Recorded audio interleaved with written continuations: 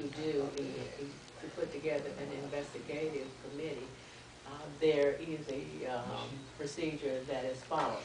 It means that a motion has to be made uh, of the um, president, and that president uh, has to, is given the directive to put in place the investigative committee.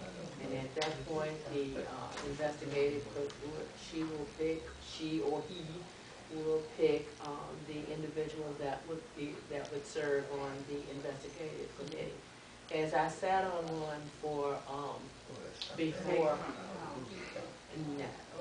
As I sat on one when we dealt with the mayor at that point, which was uh, Ms. Goggins, uh, that we had no uh, faith in this, in the uh, mayor at that particular time.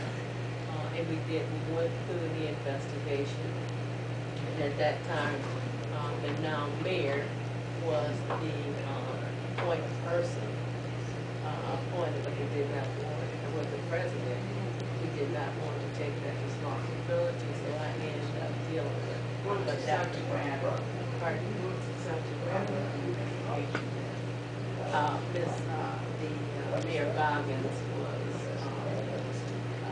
did something that she shouldn't have done, and that was to, um, give the former mayor, which was Mayor Onunwor, a, uh, salary, I mean, a, uh, uh, money that, um, they weren't, he wasn't entitled to.